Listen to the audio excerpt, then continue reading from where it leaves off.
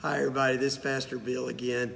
I'm sure maybe you've heard by now Governor Edwards' proclamation saying that groups of over 250 should not be meeting due to the coronavirus. And obviously, we're going to abide by that. So that means that while we will still be having church, it will be virtual church, which means we will not be meeting uh, here in Monroe at the Finks Hideaway campus uh, this coming Sunday, and that will uh, go on for the next four or five weeks until the governor's ban changes.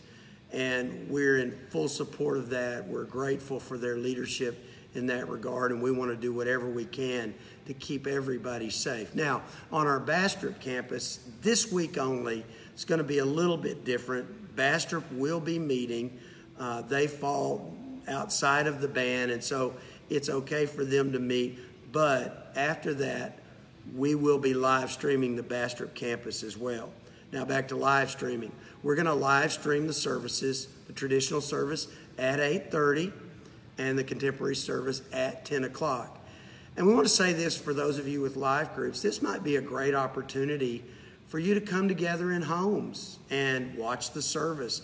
We're going to put together study notes so that you can have discussions afterward and still have that church experience, still have that community experience. Because even though we're not meeting together, we're still North Monroe Baptist Church, and that's not going to change. We're still the North Monroe family, and we want you to know we're still here for you.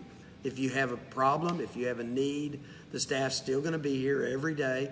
We're still going to be working, and we want to be doing whatever we can to take care of you during these times. We don't want you to be afraid. We want you to know we're praying for you and we'll be there for you. Uh, let me say this all the other activities, Wednesday night, the other activities that normally would be going on, we're canceling those as well.